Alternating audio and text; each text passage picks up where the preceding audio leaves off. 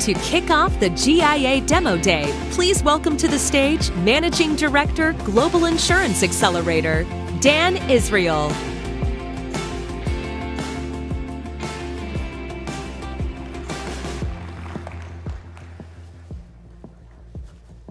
Welcome uh, to.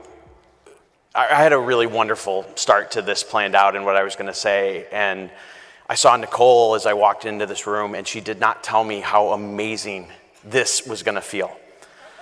And for those that don't know me, I am Dan Israel. I have the unbelievable honor to be the managing director of the Global Insurance Accelerator. I cannot, well, thank you, Coley. I cannot wait for you to hear from these seven amazing, amazing founders that we have spent the last 100 days with in our program.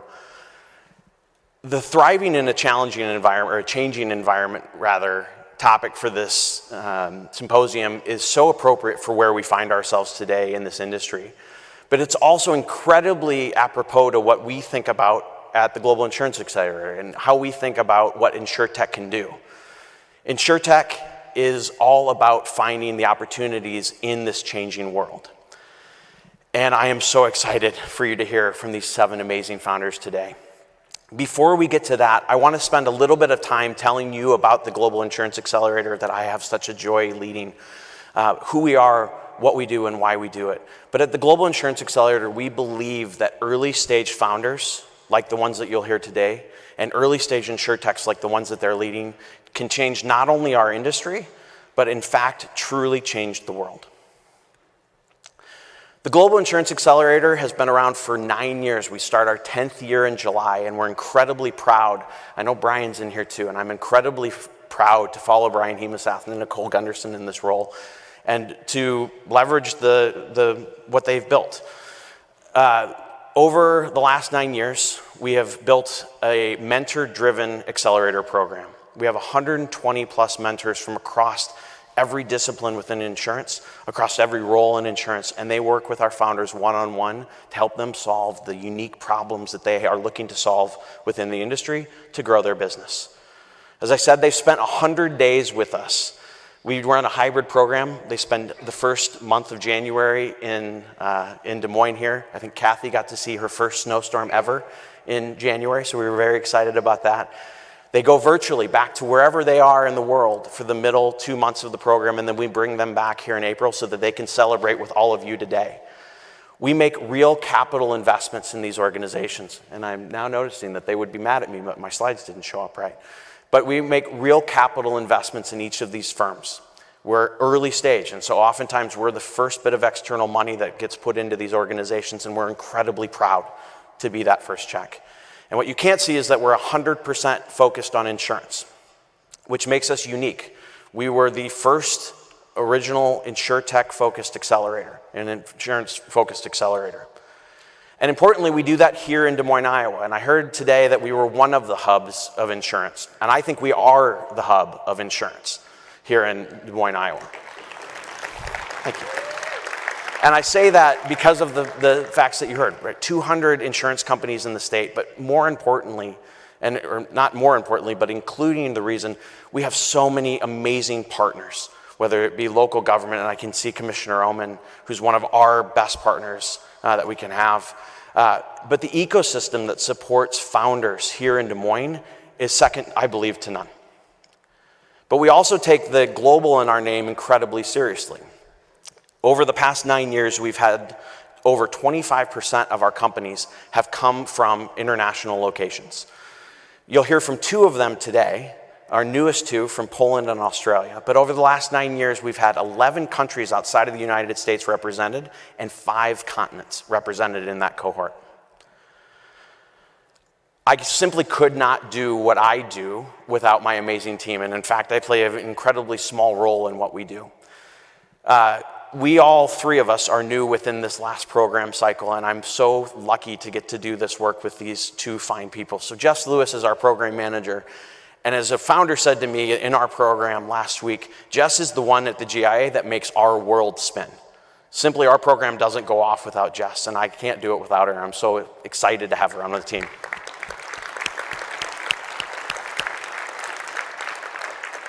And Jim Lewis actually may look familiar to some of you because he was on this stage in 2019 with his own company, which was Predictive Health Partners at the time and was Benjamin.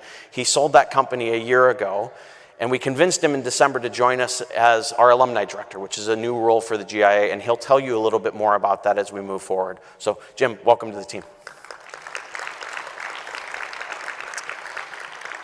Importantly, though, there's a part that I haven't talked about about the GIA, and that is the part that we can't do what we do without them. They are our, investors and our sponsors. The companies that you see on the screen are some of the most innovative insurance companies in the industry, and we are incredibly proud to work with all of them. They don't just provide the capital that we need to invest in these amazing founders or run our operations, they provide our team with the strategic board leadership that we need. They provide mentors, they provide support, they provide office space occasionally for some of the founders when they need a place to go and to stay in. But we simply couldn't do what we do without these amazing companies. And my hope is that if you're representing one of these companies in the audience, or you have something to do with them, that as you watch these seven companies come up, you're incredibly proud of what they've accomplished because they do it with your support. So thank you. The other thing that we changed this year was that we recognized that there was an opportunity to pro provide other folks and other organizations that were interested in partnering with the GIA a way to do that without having them to be either carriers or to be investors. The companies that you see on this list are amazing sponsors. They provide a, an incredible amount of different things for us, including from Drake University. I think our interns are in here somewhere, Owen and Marshall. Um, amazing interns that we've worked with. We have ecosystems, we have local governments, local support organizations, as well as carriers both here in Des Moines and outside of it. And we're so excited and appreciative of what they do for us too. And similarly, if you're part of one of these organizations, I hope you also take an incredible amount of pride in what we're doing. One of the things that I'm most excited about as we think about where we can grow and as Jim and Jess and I get to put our fingerprints on this organization and build off the incredible foundation that we have is thinking about new and innovative partnerships that we might be able to bring to bear. And today we've got a number of interesting little nuggets and announcements that we're looking forward to making. And the first one that I am really excited about, not the least of because I'm an alum, uh, but I'd like to welcome to the stage Dean Amy Kristof-Brown from the University of Iowa to talk about a new and innovative strategic partnership that we are going to undertake together. Dean Brown? My slides are up next. All right. Hello, thank you for having me here today. Um, I apologize, you should never give uh, the mic to a faculty member and a big room of people, um, but I only have five minutes to talk. And what I'm excited to talk to you about today is to introduce to you an opportunity that we have really embraced uh, with the Global Insurance Accelerator. And that is a partnership between our world-renowned Vaughan Institute of Risk Management and Insurance and our John Pappajohn Entrepreneurial Center uh, at the University of Iowa. We are thrilled to announce that we are partnering with them to set up a relationship so that we can help support what they're doing with these entrepreneurial ventures in InsurTech. We can bring our entrepreneurial expertise to the table and also the insurance expertise. Just a little bit of background so that you know. Uh, we have over uh, 700 students who are currently involved in entrepreneurship training at the University of Iowa. These students range from the Tippie College of Business, the College of Liberal Arts and Sciences, and the College of Engineering. In the Vaughan Institute, we have students who are pursuing a certificate in insurance, and those students come from all colleges across the university. And starting in fall of 2023, we will have our risk management and insurance major. This is the first time that we've had a major in risk management and insurance uh, at the University of Iowa in well over 40 years. Uh, we're not really sure why it went away to begin with, but we are very excited to have it back. And I want to acknowledge Thomas Berry-Stölzle, who is the faculty director for the Vaughan Institute, for helping to generate with the Vaughan Advisory Board, which many of you may be uh, familiar with, and with Terry Vaughan's assistance as well. We've been able to create this major as a way to help serve all of the insurance companies in Iowa and beyond. And now as we bring all of those capabilities together with the John Pappajohn Entrepreneurial Center, we think the possibilities for synergy here are just tremendous. as we explored the opportunities with Jim and Dan, we've talked about four key areas where we think we can really partner for success. First of all is on working with curriculum. We have entrepreneurship faculty, we have entrepreneurship uh, startups, we have groups that are working every day on how do you create successful entrepreneurial ventures. So we're going to partner with them on curriculum for the accelerator, which should be terrific. Student projects are another opportunity that we're always looking for. We really try to involve our students in very experiential projects, meaning they get data real world data and they help you solve problems. And so this is an opportunity for our students to dig in deep on some of the projects that you may not be able to get to or simply don't have the person power to be able to address. And they would be useful uh, projects for you to know about. Market research, for example, anything with analytics. We've got such a strong analytics program in the Tippie College, great students who can bring those skills to bear. So opportunities for experiential projects is just terrific.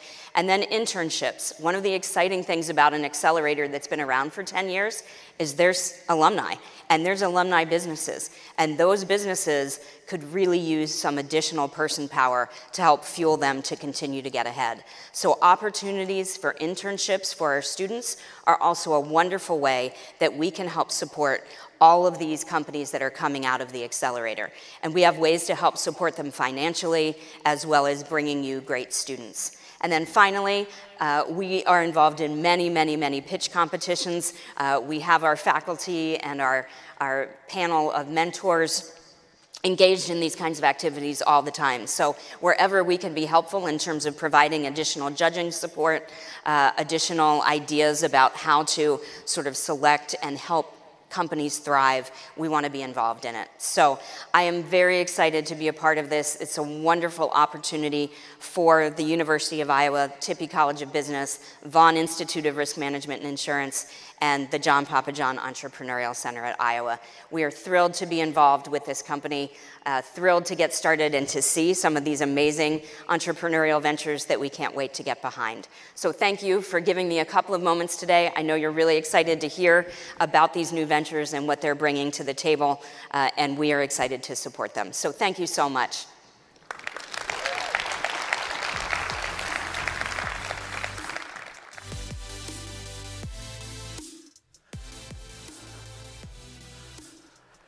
Okay, I promise that, that, I will talk for a very short amount of time, but it is now time for me to get out of the way and to introduce the 2023 GIA final pitches. Uh, if you've been here before, you know uh, that I have two asks. The first one is that if anything that you hear today intrigues you, excites you, you have questions about, you don't think will work, but you really want to push that founder on, find these folks. They want to talk to you. They've spent the last 100 days because they want to be a part of this ecosystem and they are really looking forward to it. So uh, they'll be at the reception tonight at American Enterprise, 5 to 7 p.m. Please, everybody should go. Um, but please find them out. And if you can't talk to them tonight, contact Jess, Jim, or I. We would love to put you in contact with them. The second request that I have is a GIA tradition. And if you've been here before, you know what I'm about to ask you to do. Because an insurance conference is very much like a rock concert, what we would like to do is as each of these founders come to the stage, we want to welcome them to the stage with a standing ovation and a huge round of applause. It helps them to get so excited to do their best pitch for you, and it helps kind of raise the energy in the room. So, we're going to practice with our first mentor presenter. So, please join me with a huge GIA welcome to Travis Grassel, who's introducing Amelio Health.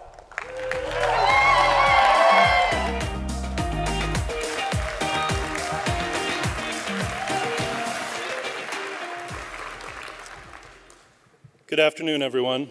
Thank you for coming to Des Moines, Iowa.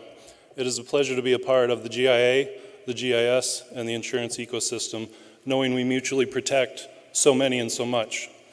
Hello, my name is Travis Grassel, Property and Casualty Actuary for the Iowa Insurance Division. For those of you unfamiliar with Iowa's state motto, here it is Our liberties we prize and our rights we will maintain. That foundation gives innovative solutions that come to Iowa the opportunity and platform from which to be greatly successful. Governor Reynolds and Commissioner Ommen and their teams are all about innovation and moving our economy and the insurance industry forward. This mindset has allowed me to have the good fortune of being a GIA mentor since 2019. This year, I and others were selected to mentor Kathy Hubble, CEO and founder of Amelio Health. I am extremely confident that Amelio Health can help individuals as well as insurers in dramatic ways. So, without further ado, coming all the way from down under, please stand and join me in giving a warm from the Heartland welcome to Kathy Hubble.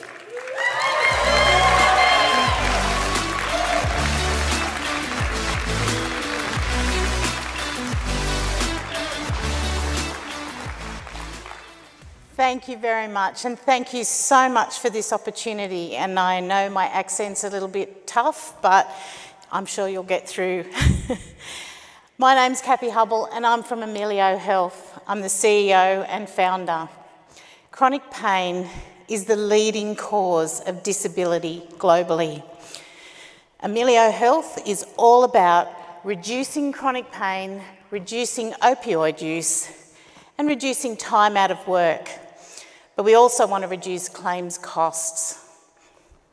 I have a background of 25 plus years in chronic pain management, so I've seen what works and what doesn't work. My co-founder, Stefan McSweeney, is a doctor of osteopathy and a molecular biologist, and also a Masters of Rehab in Pain Medicine. We are supported by a fantastic team who, who their expert subject matter supports our every need. In America, one in five people have chronic pain, and you've had over 106,000 deaths annually from prescription opioid overdose. So it's fair to say that nearly everyone in this room has been touched in some way by chronic pain and the suffering surrounding it. But you're insurers, so you would be really interested to know that insurers paid out over $635 billion in income replacement payments and medical interventions. And 90% of those costs actually came from 20% of claims.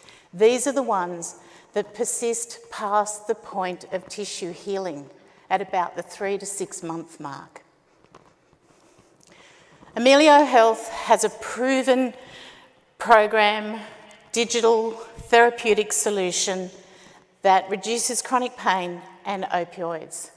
But we support it with wearable technology and remote monitoring and a behavioural score that comes from our learning platform. All of this data feeds into machine learning and then to our live health coaches who can nudge, change behaviour 24 7. But that's not all it can do. We actually have the ability to have predictive analytics on this data, which means we can identify who will actually end up with chronic pain. Our eight week program is embedded with core competencies and live data from the wearables, as I said, and every behavioural score is actually reported back to the insurer at weeks two, four, and eight. So, the very first time we have the visibility of a person in their own environment 24 hours a day how pain is affecting their life. I'd like to introduce you to Denise. Now, Denise did our program in 2021 and she eliminated her pain in eight weeks and went back to work full time. She had a simple injury at work, she rolled her ankle, and over the next three years, she rolled it a few more times. She was commenced on opioids quite early, and then eventually she had surgery, a reconstruction of the ankle. Post-operatively, she was converted to higher dose opioids such as endone or as you would call it, oxynorm. And she was started on gabapentin. One of the side effects of gabapentin is that it causes swelling and redness and inflammation. Opioids cause hyperalgesia, which is an escalation in the sensitivity of the nervous system. Now, she had a pain score of 9 out of 10, and a pain specialist diagnosed her with complex regional pain syndrome. Now, this is when light touch on the skin actually feels like you're raking barbed wire through it. That's what she was diagnosed with. Multiple treatments failed, but she also, when she started on our program, had oxygen saturations of 85%. We were able to pick this up on the wearable. Why is that important? Well, in ICU, we actually intubate them at 85%. So she became really engaged in her data and she took it on herself to decide to cease all of her medications. Not quite how we do it, but that's what she decided. By week four, she was off all medication, and by week six, she had no pain. Went back to work, and she had, was working 50% of the time. By week eight, she was back at work 100% of the time. Now, this indicated to us that she actually had a medication induced form of complex regional pain syndrome. Interesting. How does this start? How does this vicious cycle start? Starts with an initial injury, then we have opioids in the mix, and we start with these pain behaviours where they avoid doing things. Maybe they'll have surgery, interventions. This causes more trauma to the nervous system, and the opioids cause sensitivity. All of this creates more and more distortion of the nervous system. This develops into chronic pain, but it doesn't stop there. It keeps going around and around and around. Further interventions, depression and anxiety, repeated treatment failures, more nervous system distortion, and eventually chronic pain just keeps building. So, how do you break that cycle? Well, we did it. In 2021, we actually had 76 people go through our program, and they were all in that group from three to uh, 10 years in claim duration, 83% completion rate. 95% of those people actually reached a capacity where they could return to work. Most importantly, though, we had 60% of people reduce their opioids and cease them altogether. We also halved their pain score on average. That's the difference between functioning and not functioning. So we've had some great traction along the way. We partnered early with some great rehabilitation providers in Australia and then what we learned in that time, we actually put into redeveloping the platform from a phone app into a web app so people could access it anywhere in the world on any device. And we relaunched to direct to insurers. We've won a lot of awards for return to work, innovation in digital health, and because we're now an independent uh, structure or company, we are now meeting all of our HIPAA and SOC 2 compliance. So I'll give you a bit of a case study on value. On a disability claims book, we might have 10,000 claims, more than three months long, and each one has a reserve of around 400,000. You just nod if I'm correct. and with our program, the cost of our program, and the outcomes that we're able to achieve, there's a possibility to release over $2.5 billion on those 10,000 claims. Now, we do have competitors in this space, but nobody's using AI driven health coaching and nudging 24 7 to drive behaviour change.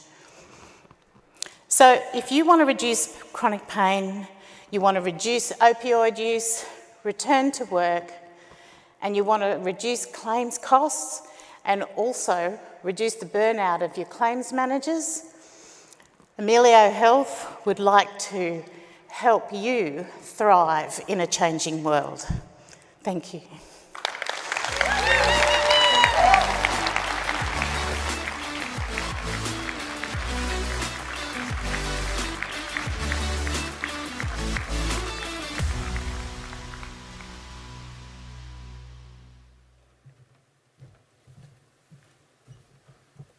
Hello, my name is Brock Scheck, and I work for Global Atlantic Financial Group, and I head up our InsureTech strategy. Now, much like the founders presenting today, Global Atlantic's story is centered around an entrepreneurial spirit as we began as a startup under, within Goldman Sachs. And so, as we move forward and try and help these groups, we were really excited about rejoining the GIA this year and look forward to that partnership, continuing that partnership as we move forward. Now, personally, for me, being a mentor was extremely rewarding, and I've thoroughly enjoyed my time with our next founder. His energy and passion have been a breath of fresh air for me, as well as just his belief in what he is doing and his commitment to making this industry better. And so I'm sure you'll all be just as impressed as I am with him and his company. So please join me in welcoming Diego Tanton, founder and CEO of Envive.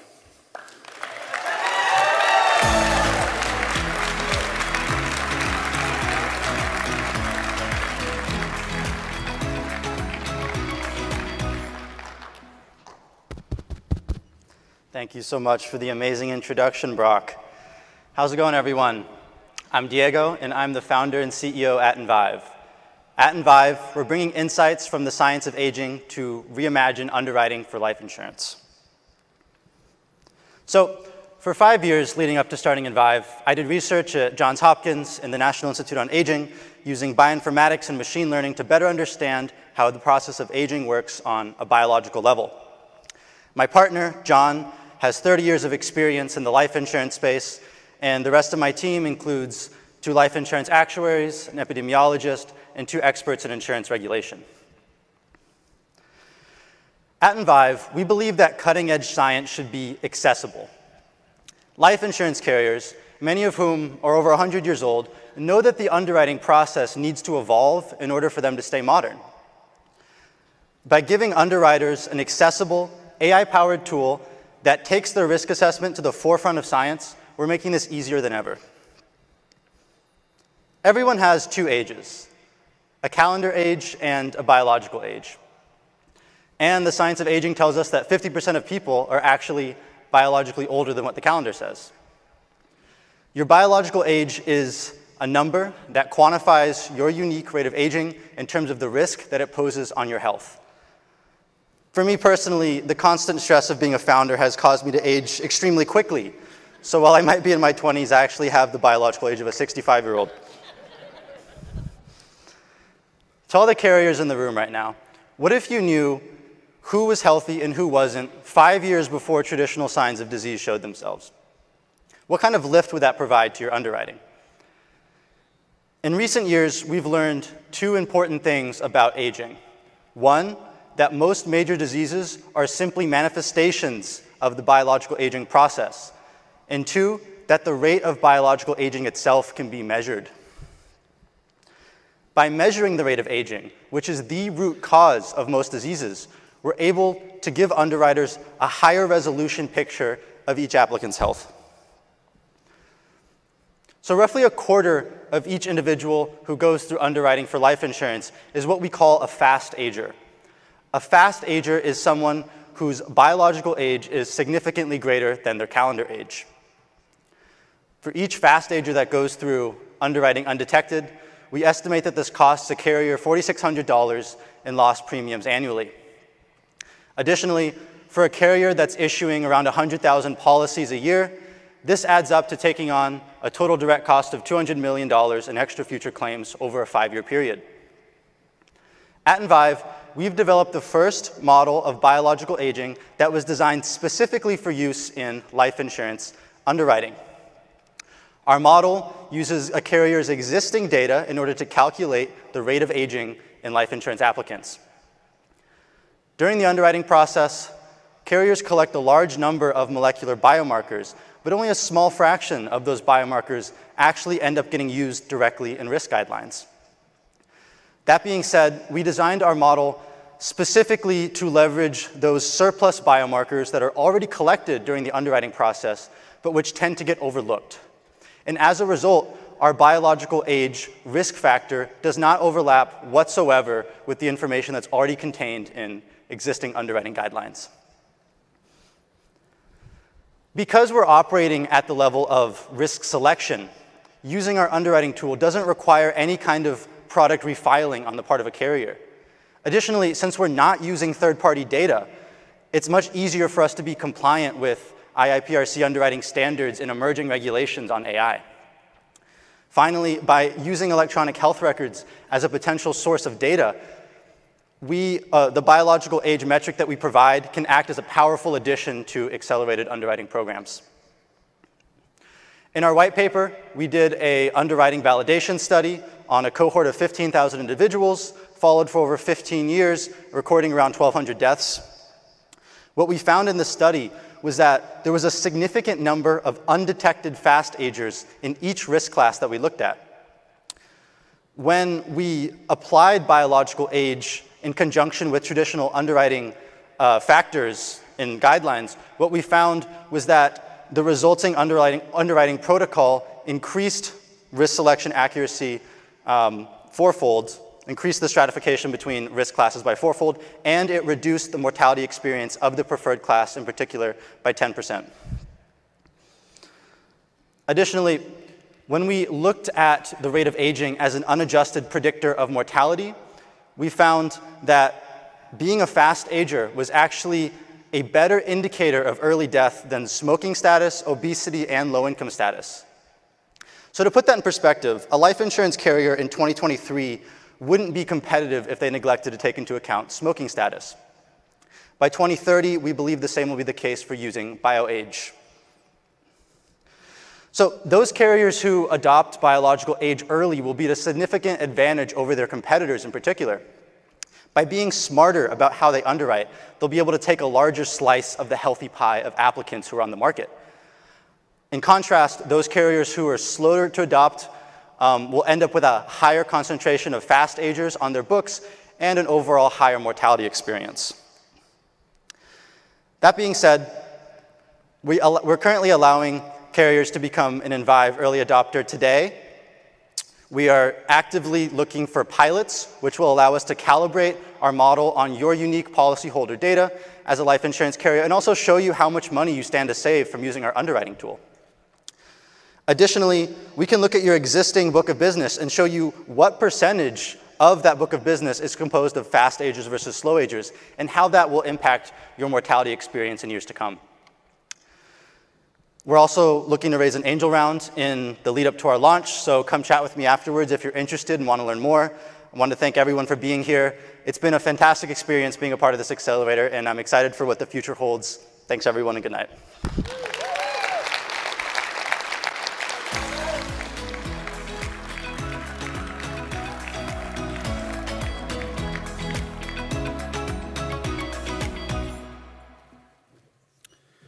Good afternoon, everybody. My name's uh, Dave DeCap. I am the uh, Senior Vice President of Marketing for Farmers Mutual Hail Insurance Company uh, and also a GIA board member. Um, we're, at FMH, we're super proud to be a founding investor in the GIA, and as we enter our 10th year, really excited to see uh, uh, where we can continue to, to push this program to where it can go. However, I'm just as excited to announce our next company, Refocus AI. I was lucky enough to serve as a mentor this year during the program, and um, I got to tell you, the it, I, I continue to be amazed and astounded by how much the momentum can continue to accelerate during this short window, and Colby and team have definitely done that. So, actually, I'll just stop there and let's introduce him now. Would you please stand and uh, help me welcome Colby Tunick, CEO of Refocus AI.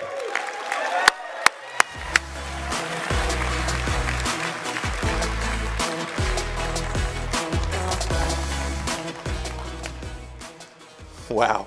Good afternoon, everyone. Thank you so much, Dave. Farmer Mutual Hail, one of our fantastic mentors from the Global Insurance Accelerator. Good afternoon, everyone.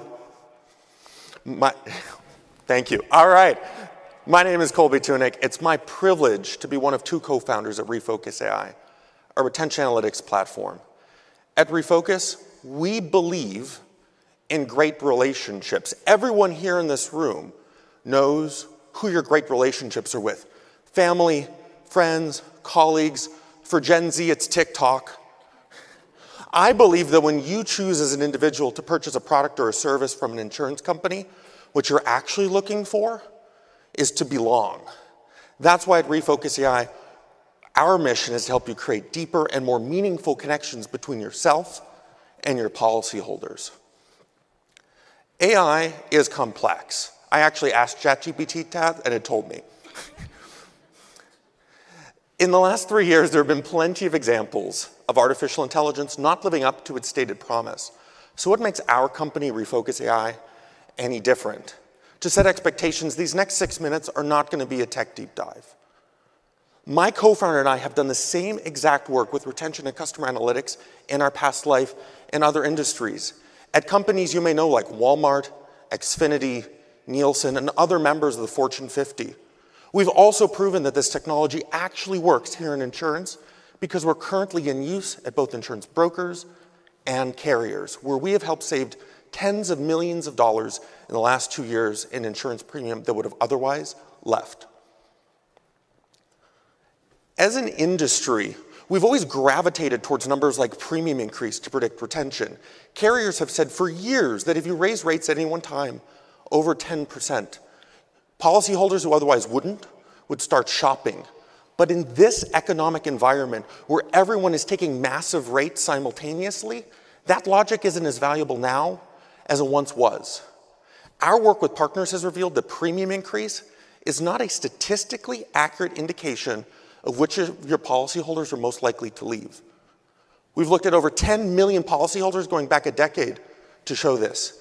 Instead, we're finding that information that you already have, like the number of individuals in a household under the age of 21, to be far more predictive. So if we know that our current method as an industry of predicting retention isn't holding water, where does that leave us? To understand our path forward, I'd like to introduce you to John. John is one of our customers and is the chief underwriting officer at a super regional carrier in the American Northwest with $750 million in annual premiums. 60% of John's book consists of policyholders with less than $20,000 in total written premium across all of their policies. These policies have a high acquisition cost to premium ratio and a low lifetime value. John's company has found it challenging to service these policies profitably, leading to high churn.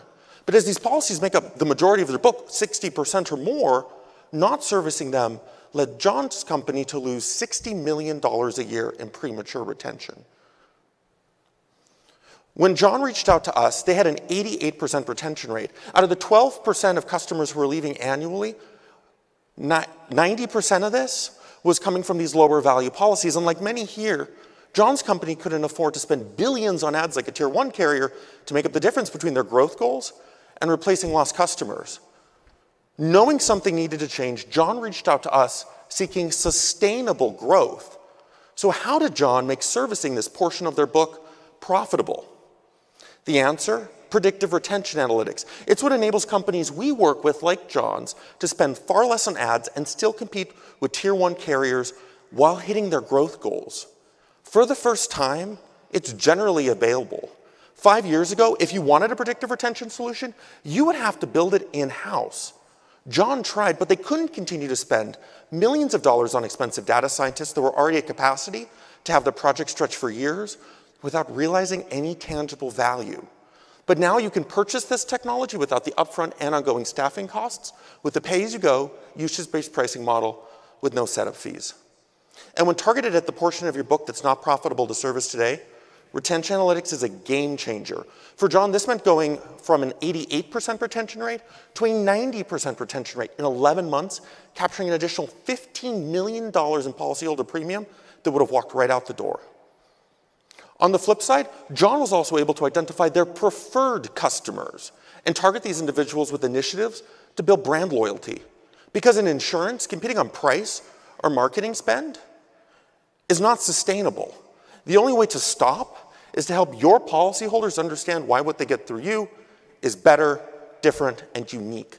That's the opportunity that predictive retention analytics provide. The best predictive retention analytics, use your data because you can't use nationwide data to predict what a Geico customer will do.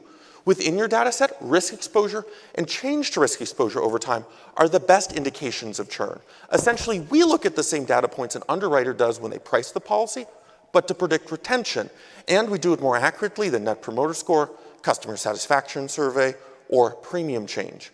With retention analytics, you get a statistically accurate indication of who's most likely to leave, as well as a reason why. So rather than fight your competition head on, carve out a niche that allows you to be more nimble and move faster. And for John, that was three things.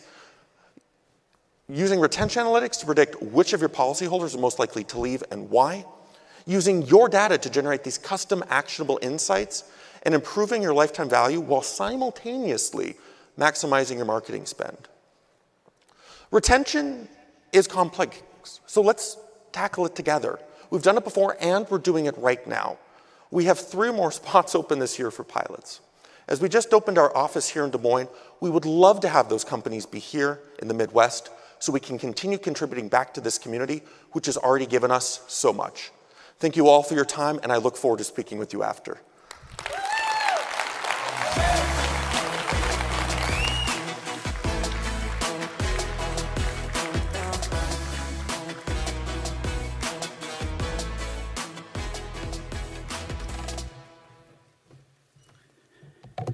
Good afternoon. I'm Jeremy Harrington. I'm Director of Experience for Benefits and Protection at Principal Financial Group. I have the great honor today to introduce Zachary Tempesta and Lightship Neuroscience. Over the past decade of partnership with Major League Baseball, the founding team at Lightship Neuroscience has developed and refined their cutting-edge predictive neural analytics centered on brain performance. Now, partnering with auto insurers and commercial fleets instead of front offices, Lightship is making the world safer one driver at a time. Uh, please help me welcome Zach Tempesta and Lightship Neuroscience.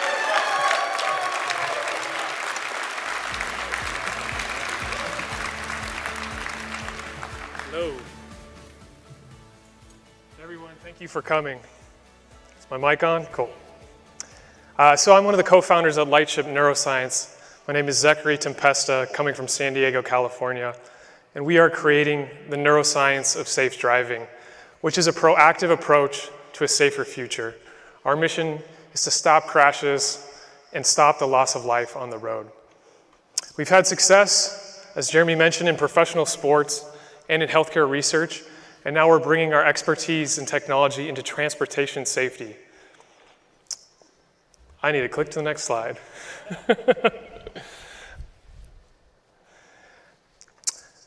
so for me, this mission is personal. I've lost multiple family members on the road, and sadly, my family isn't the only family that has gone through this type of tragedy. At Lightship, it's personal for myself and my co-founders. My co-founders are Dr. Wesley Clapp and Dr. Brian Miller, both neuroscience PhDs. We've worked together for almost a decade now. Our journey really began in the labs at UCSF and UC Berkeley, matured in healthcare research, and really blossomed in Major League Baseball. Some of the baseball fans in the audience might recognize this film and best-selling book, Moneyball, which depicts the origins of sabermetrics in Major League Baseball. In the early 2000s, a number of innovative teams actually used advanced analytics to gain a significant competitive advantage. But eventually, the rest of the field caught up. Our technology came in in the post-Moneyball era. We introduced neuroscience-based analytics to improve player forecasting, player training, and on-field performance. We've worked in Major League Baseball for over a decade, and we've collected over 7,500 neural profiles of professional athletes. And now we're bringing our pioneering approach into commercial fleet safety. We're working with fleets, insurers, and fleet safety managers to stop crashes.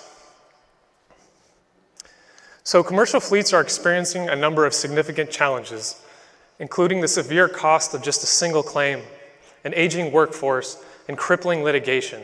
But the lion's share of this risk actually comes from a small population of drivers, which is currently hard to identify.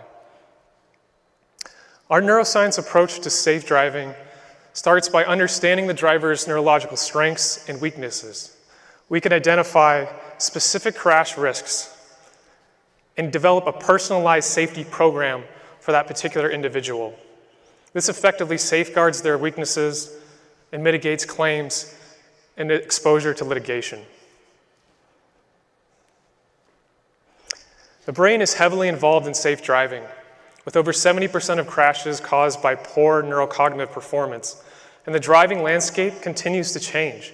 The advent of smartphone technology and autonomous technology puts more pressure on our brain than ever, and distractions are taking new forms every single day. Commercial driving requires performance above and beyond everyday driving. So we are looking at fundamental brain functions that are required for safe driving. Things like decision making, reactivity, hazard recognition, situational awareness, and distracted driving. April is actually Distracted Driver Awareness Month, so this is really relevant here in April. Our technology can identify top performers and higher risk drivers in just 15 minutes on a smartphone, an iPad, or a laptop. We then target tools, trainings, and technologies for our higher risk drivers and then reward our high performers. We want to get the best talent on the most dangerous hauls. Our approach starts with a driver assessment. It's quick and it's engaging, and it's built with real world dash cam footage. It outputs a driver safety guide personalized for that individual. And this only enhances existing safety technology like telematics, dash cams, electronic logging devices, and vehicle ADAS systems. There's an amazing safety infrastructure out there already, and what we're trying to do is funnel these targeted interventions specifically for individuals. So, to illustrate the differences in neurocognitive performance, this is Jonathan and Matthew, and this is their baseline spatial attention. This was taken when they joined a new fleet. As you can see, Jonathan and Matthew look quite different. Who would you want driving next to you? Fortunately for Jonathan, his family, the fleet, the insurance carrier, and everyone else on the road, we could actually get Jonathan's profile looking much closer to Matthew. And if this doesn't hit home, I want you guys to all think about when you were a teenager and you were driving with a grandparent.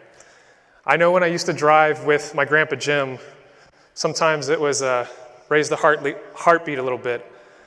Um, one time we were, my family and I were going to the airport, and somehow we made it there with Grandpa Jim driving, and God rest his soul, uh, we kissed the ground when we got there. But this is sort of like that visceral feeling of the differences amongst us. But back to John. How we can improve his safety is with a safety guide that depicts his overall risk, specific crash types that he might incur, follow up training, optimum routes, and vehicle safety technology to safeguard his weaknesses. We're creating the neuroscience of safe driving, and we need your help. We're working with commercial insurers, fleet technology distributors, and medium to large size fleets. We're piloting our technology and looking to collaborate with transportation leaders. We are creating a safer future, and that takes everybody. At Lightship, it's personal for us, and we hope it's personal for you as well. Please come talk to me if you're interested. Let's protect our neighbors, our coworkers, our friends and our family. And everybody drives safe. And I want to say thank you especially to the GIA and the GIS. It's been a wonderful program so far, and I'm excited to celebrate after this. But I'm also thrilled to be a part of the Des Moines community. We've worked with a number of partners already here in Des Moines, and it's been an honor, and I'm looking forward to seeing what we continue to create. So thank you very much, and talk to me later if uh, you want to hear more. Take care.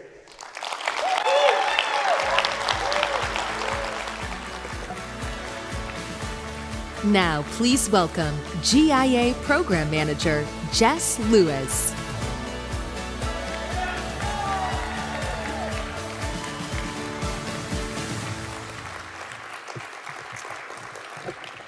Good afternoon, everyone. My name is Jess Lewis. I'm the program manager for the Global Insurance Accelerator, and I get the fantastic privilege to work with our inspiring founders.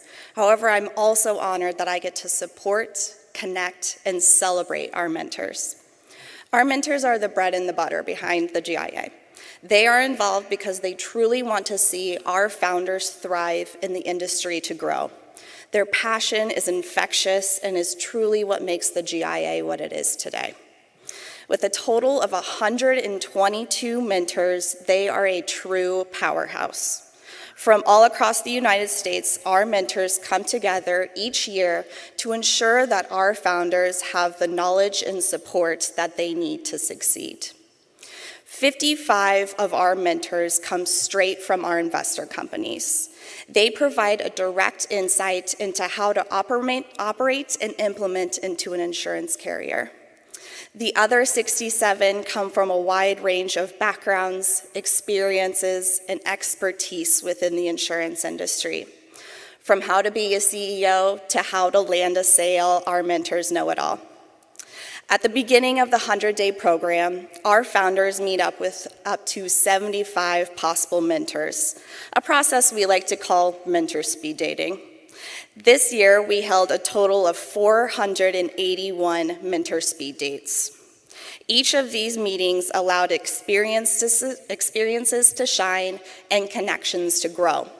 I can tell you personally that each of our founders left these meetings excited, inspired, and eager to learn more.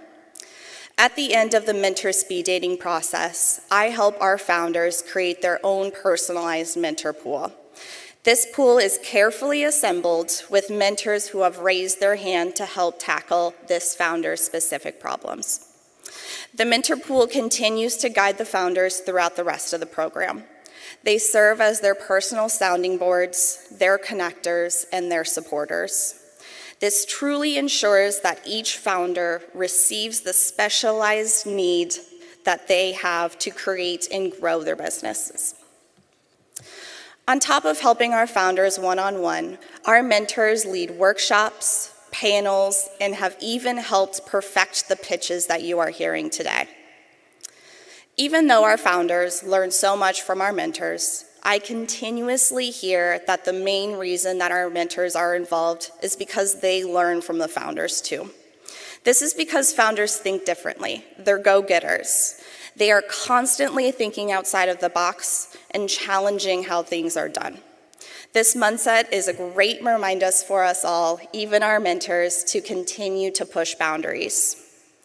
My goal as the program manager is that both the founder and the mentors leave each meeting learning something new and inspired to continue forward.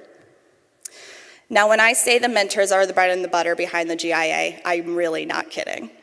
For the 2023 program in total, our mentors put in 80 hours of mentor speed dating, 40 hours of workshops, 35 hours of pitch practice, and 190 hours working one on one with our founders for a grand total of nearly 350 hours. Each minute of the program would not be the same without our mentors. So, if you are a mentor for the Global Insurance Accelerator, please stand.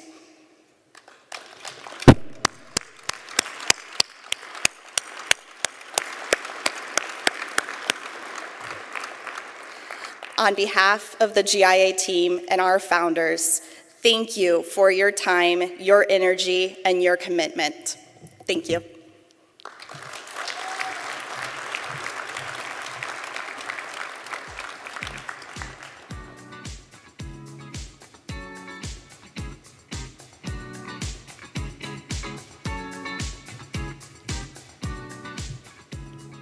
Good afternoon, everyone. My name is Susan Kelly.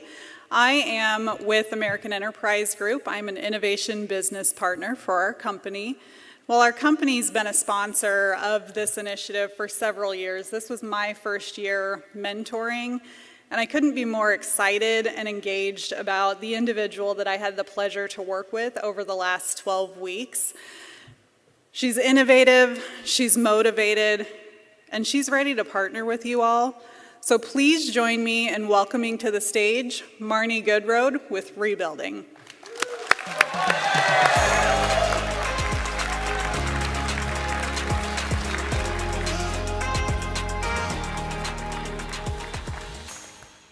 Hello. Uh, I do want to really say what Jess said is true. We wouldn't be here without our mentors, and my pitch would not be what it is today. So, with that said, I am Marnie Goodroad, founder of Rebuilding, and I forgot the clicker as well. so, I know we can all agree there is no place like your home. It's the place we create lifelong memories, raise our children, celebrate holidays, and entertain our friends and family.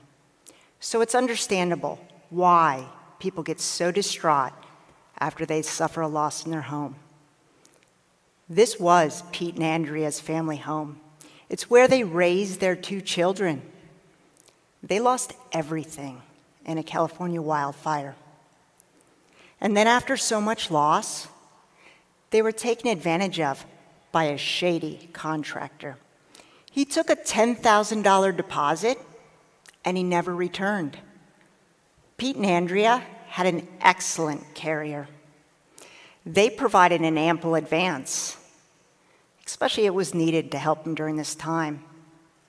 But it did not help them from being taken advantage of from that shady contractor.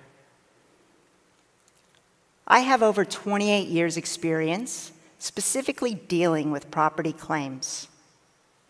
I've worked for large carriers, I've seen it from the contractor's side, and I've also represented thousands of homeowners.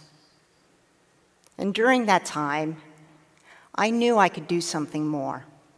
So I set out and created Rebuilding. So together, we could help millions instead of thousands by fixing the problems that exist in homeowners' claims. We will also make it easier for your adjusters, for the trusted contractors, and for the homeowners. What are the problems? Homeowners feel like they're getting poor customer service. They get really frustrated over the length of time it takes to adjust their claims. And they feel like they're getting underpaid. Doesn't mean they are getting underpaid, but they feel that way. So, rebuilding was created to help carriers, assist contractors, and empower the homeowners. And by empowering the homeowners, we give them control in an out of control situation and allow them to become proactive parts of their claim process. And what we do is we provide immediate direct access to insurance vetted, trusted contractors who can immediately provide estimates, document their damage, and also do the repairs. So, rebuilding creates trust, transparency, and timing between all parties involved. How does it work? Well, after a homeowner suffers an unfortunate loss, they have the ability to join our platform. At that time, they, have, they can post a job, so contractors in their area will reach out to them. Or they can view contractors and reach out to them. They will be able to obtain multiple estimates. We do require two. We recommend three, but they can get as many as they need and feel comfortable with. Once they choose the contractor, they will sign the contract with them through our platform. And then they will have the ability to document the entire repair process from the very first conversation with that contractor all the way through to the job completion. And once done, both the contractor and the homeowner will have access to all those documents. One in, five, or one in 20 homes, 5%, suffer a loss each year. Those are your friends, your neighbors, and we hope it's not you. On top of that, there's an additional $100 billion in catastrophe claims per year. That number's rising. We don't always hear about the catastrophes that happen, but they're all around. So it is time for rebuilding because what we can do is we, oh, nope, actually, the market is huge. That's why it's time for rebuilding. Uh, 844 PC and direct insurance. And astonishingly, TPAs and adjusting services have reached $225 billion. So again, I'm going to say it's time for rebuilding because we will reduce your outside adjusting costs. We will reduce unwarranted indemnity payments, and we will reduce unnecessary litigation. I'm very proud to say we ran a successful beta. Contractors easily registered, homeowners readily signed up. They also posted jobs. And we found out there was no loyalty to our competitors. And who are our competitors? Well, they are generally online repair platforms such as Angie or Thumbtack, uh, independent adjusting firms and TPAs such as Contractors Connection, Sedgwick, Lackerty. But we differ from our competitors. We do not charge for leads. We do not charge to register. We also do not take a percentage of the client or the loss estimate. And more importantly, we don't match or assign a particular contractor to a homeowner. Instead, we empower the homeowner and allow them to have the choice to select the contractor that's best suited for them. So, how do we make money? It's always free for the homeowners. We do charge contractors, but only when they secure a contract. And we will also charge carriers, but only for the information and data they request. We will be able to provide information that's not readily available today because our job starts when the homeowner gets the estimates and it does not end until the job's been completed. So right now, Rebuilding is seeking pilots with carriers. We are a standalone product. There is no integration needed. Yes, I will be at American Enterprise, so please come talk to me. Thank you to the GIA, the GIS, the mentors, and everyone else here. I greatly appreciate your time.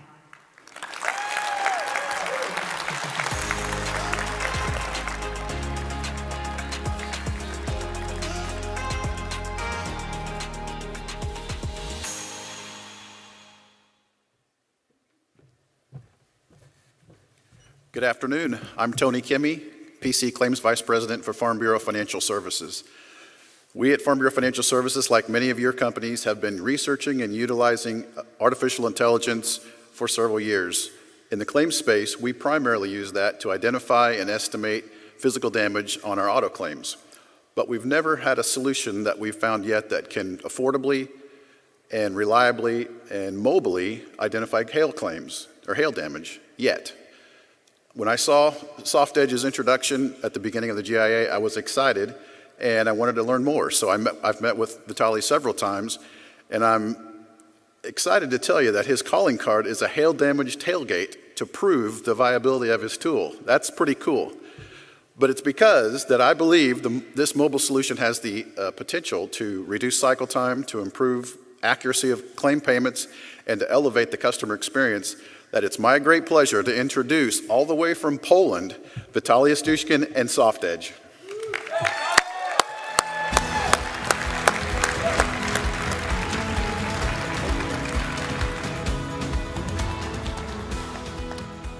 Clicker, clicker. Hello, everyone. You all may know that some great startups have humble beginnings, sometimes started in garages. Today, I'm excited to introduce you to one such startup. My name is Vitale, I'm a co-founder of SoftEdge. We are a group of professionals with years of experience in computer vision, artificial intelligence, and augmented reality, combined with knowledge how to implement and use this knowledge for business automatization processes. Today, I would like to introduce you one of our solutions for hail damage assessment on the vehicles using mobile devices.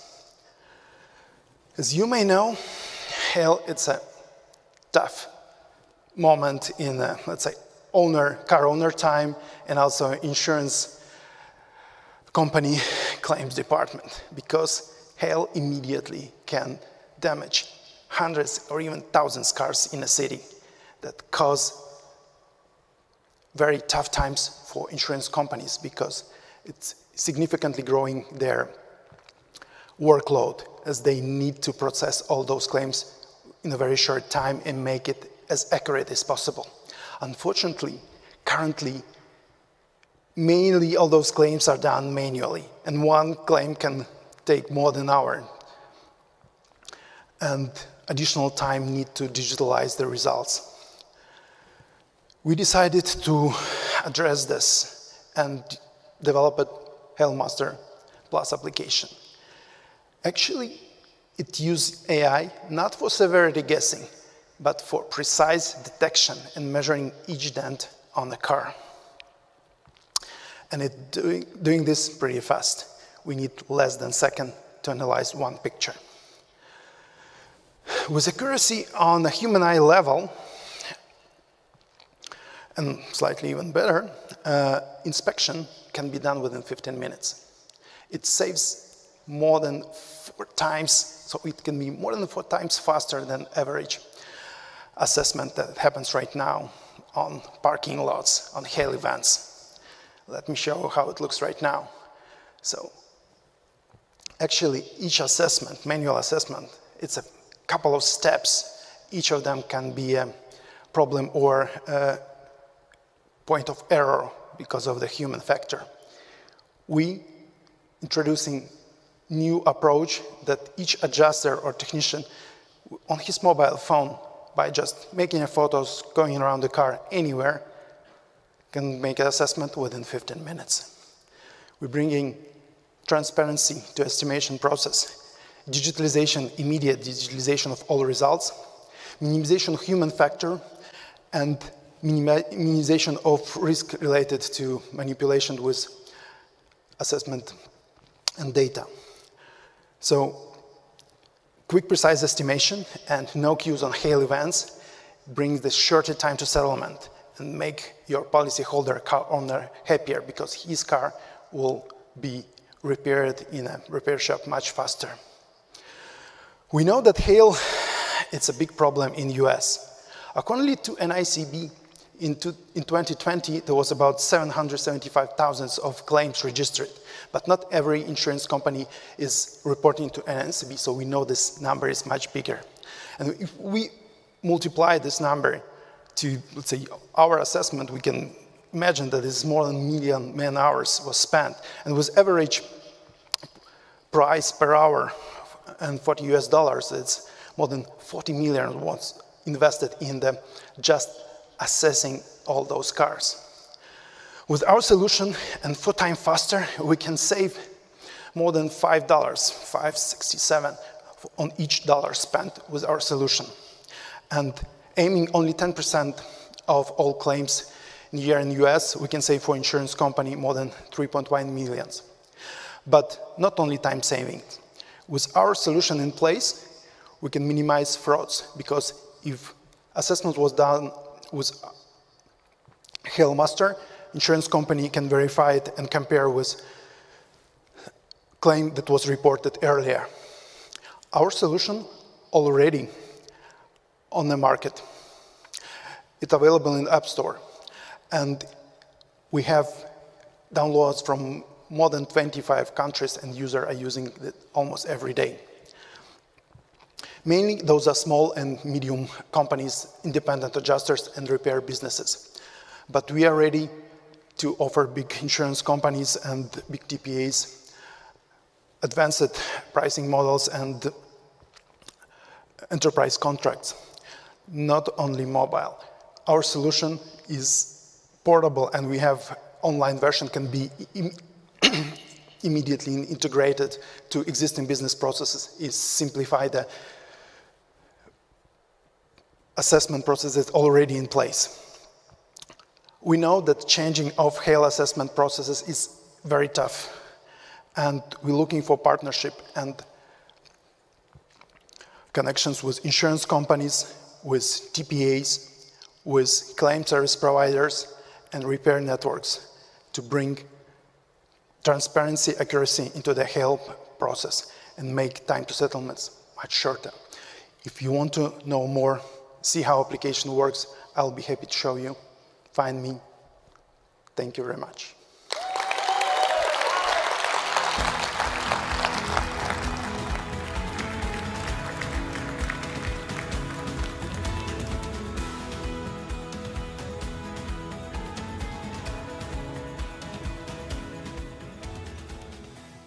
Wow, the energy in the room is amazing. What a great event. Thank you, GIA. Thank you, GIS.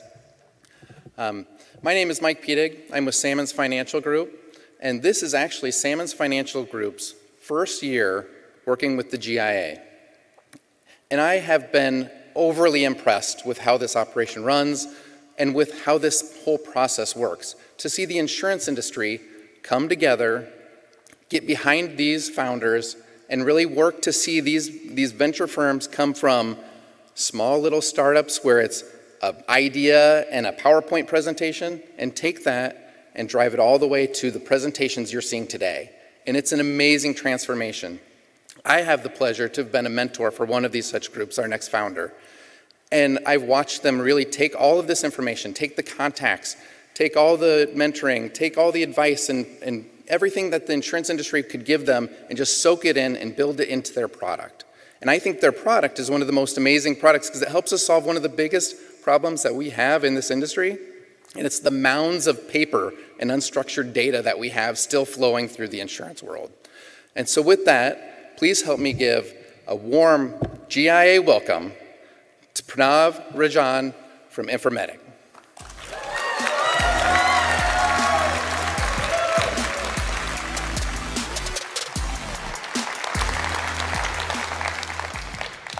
All righty. Hello, everybody. Save the best for last, right? Or something like that. All right. Hello, everybody. My name is Pranav Rajan, and I'm the COO and a co-founder at Informatic, where we provide your company with tools for fast and accurate underwriting. So the problem that we solve, as Mike gave a great explanation of, is basically that the current life insurance underwriting process is very long and expensive. Underwriters are receiving large data dumps of medical records that can be up to a thousand pages long. Now imagine you're an underwriter. You have to scroll through every single one of these thousand pages to determine which information is useful, extract that information, and summarize that information, and use all of that information to determine how risky an applicant is. One of the current alternatives is that companies are paying third-party corporations and doctor consultations to provide summaries of these medical records, only to have to wait three, four, five business days to receive a summary that's still not very easy to access or effective. The other alternative is that underwriters are taking shortcuts. Rather than looking at the entire medical record, they're looking at just the prescription history of an applicant.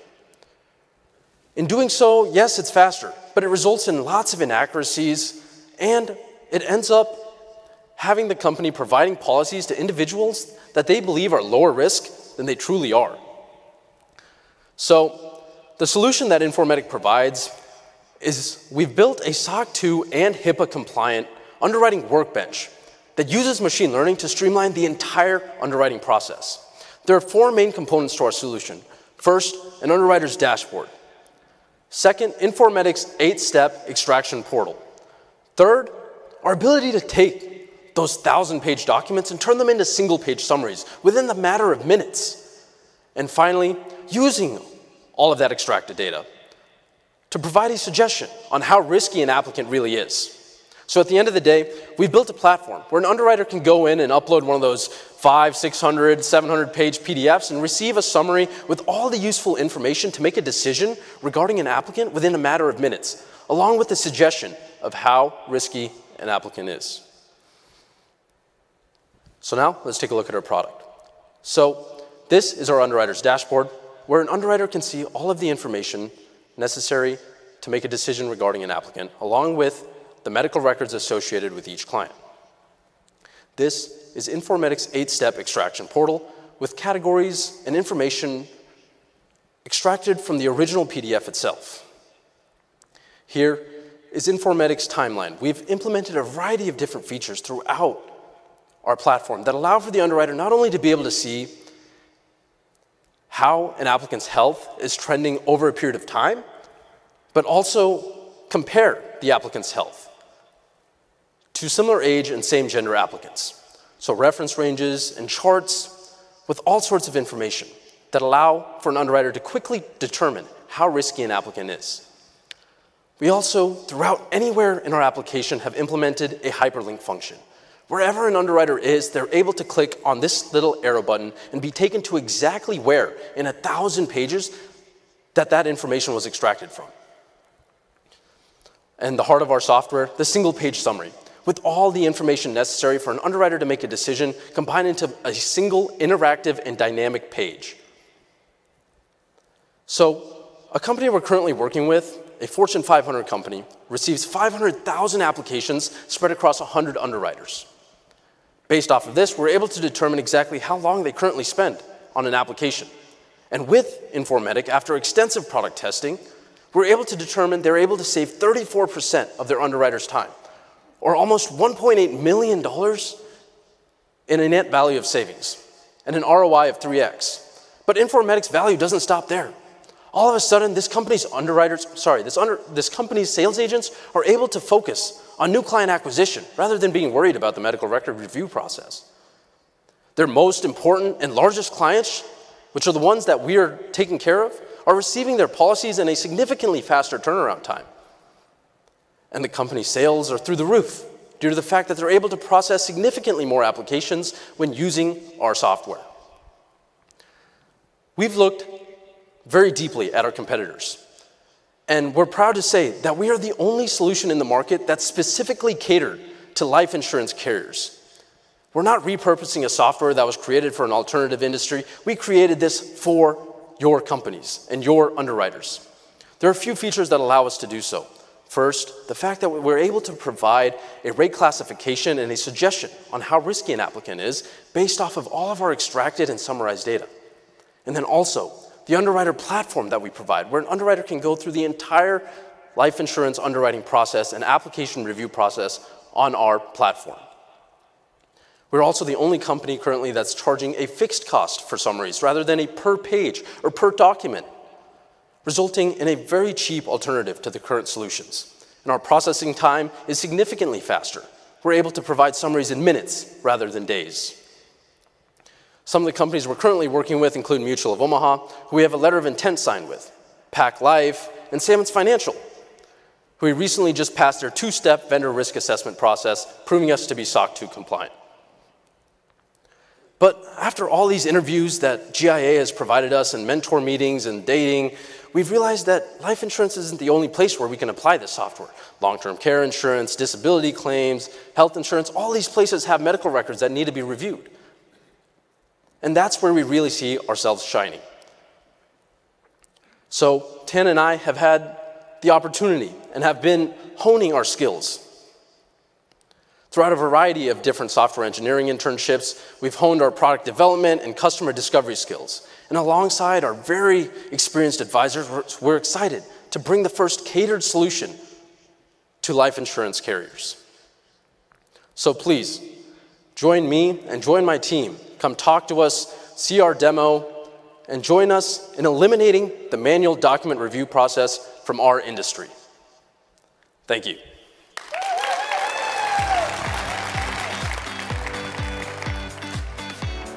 Now, please welcome to the stage GIA Alumni Director, Jim Lewis.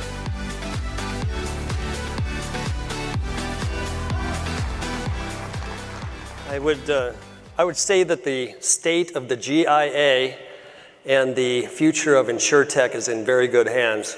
Uh, I'd like to one more round of applause for seven amazing founders. Thank you so much.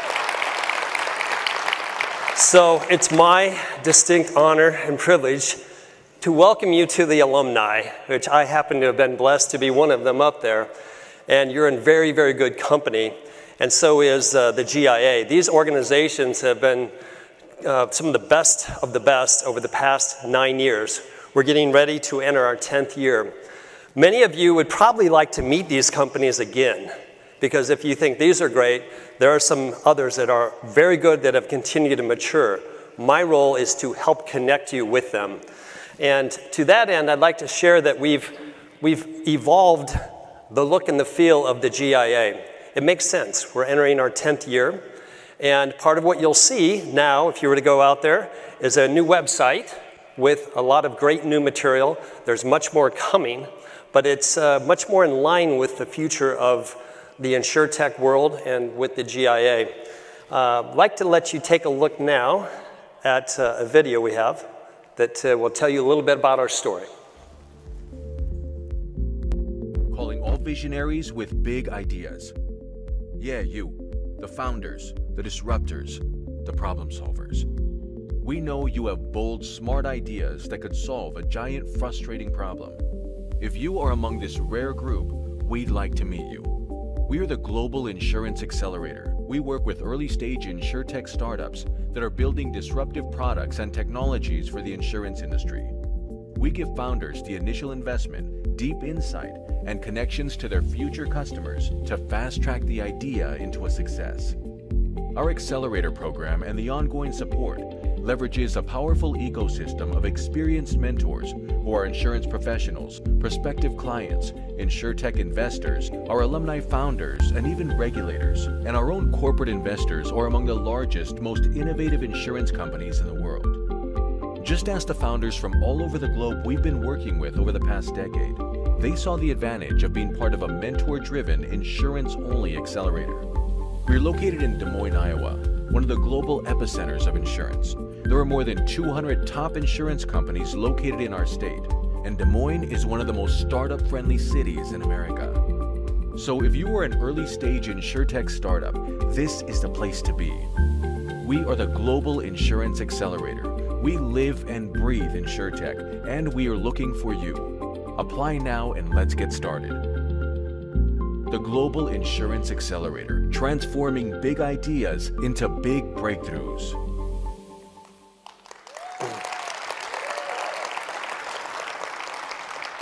So one of the new roles of the GIA is to help our alumni after their 100-day accelerator program. That's my role, but it's also everyone's role in this room, and I'm going to ask for your help.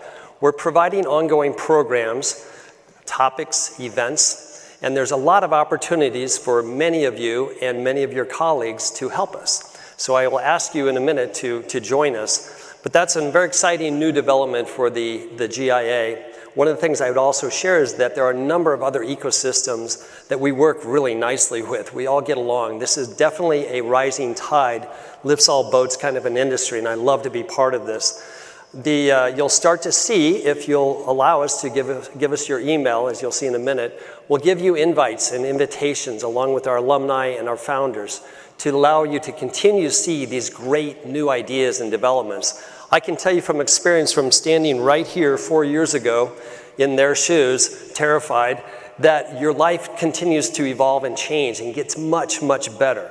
And without the help of the ecosystem, it's not possible. This is why I decided to come back to the GIA, and Brian and Nicole out there, uh, I thank you for what you did to create this, and Dan, thank you for inviting me to be part of this. Our why, I shared this the other night. A why is the most important part, in my opinion, in any business. I ask the founders this, every one of them knows this too, and that is that what is the reason that you're starting your business? What is that, that drives you? Because there are going to be some challenges along the way, and if you have a strong why, you'll overcome those challenges. You'll fight through it. You'll find a way. For us, the, the GIA, it's all about our unique position of being able to filter, refine, and connect the early stage insurtech startups. Many of them who have never had a check or an investment before, don't possibly even have clients, but we'll help them. We see their potential. And the reason we do this is the world's a dangerous place out there. There's a lot of risk and there's a lot of bad things that happen. If it were not for insurance, many of these industries would not even exist. And if it were not for innovation, to continually find new, better ways to make the world safer and smarter, we would not be able to continue to evolve. I want to thank the University of Iowa, especially Dean Amy Kristof-Brown, for joining us and joining a partnership. We're very, very excited about this. There are many of you that should join us too. I'd ask you to, to go ahead and use your phone, grab this on your QR code. Do that if you see on our website as well. Let us reach out to you. We would love to get more of you involved. It's important. And uh, again, to the founders, I want to say well done. And to the rest of the audience, thank you. I do no longer want to stand between you and happy hour. Thank you very much. Please welcome back to the stage Vice President and Head of Platform Manchester Story, Jason Gross.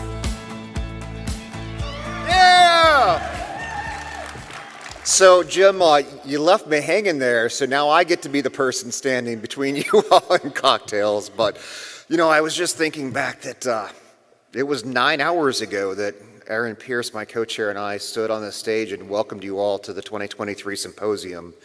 I don't know that we could have packed any more into these past nine hours. What a fantastic day that uh, uh, of, of, thought leadership, of discussion, so many great speakers and panelists and, and, and audience as well. Thank you all very much. Just four quick things. Uh, if you thought today was great, just wait until tomorrow. We have the icing on the cake. We will start back at 7 a.m. with a networking breakfast. We'll be back in this grand ballroom at 8 o'clock tomorrow morning with a commissioner panel, a CEO panel, and a founder panel to round out the 2023 symposium. I've also been asked to share that we have a lost and found item. Someone left a blue sweater at the registration table earlier today. If you are missing a blue sweater, you may find it at the registration table out in the lobby. I'd also like to uh, encourage everyone, if you haven't already, to please do go to your uh, ITA group app for the conference and vote in the case student case competition. We'll be announcing our winners uh, from the, the, the three finalist teams tomorrow morning. So if you have not done so yet, please get your vote in. And finally, I think after this long day, we, we deserve a break. So please join me, Aaron, our committee, and all of this great group at American Enterprise from 5 o'clock to 7 o'clock for uh, an evening reception. It's like 75 degrees out. It's going to rain later, but it's holding off. The sun is shining for us. Let's go have a, a drink. Uh, there'll be food trucks. Uh, I'll see you at American Enterprise. It's just a couple blocks away, and we'll see you there. Thank you all very much.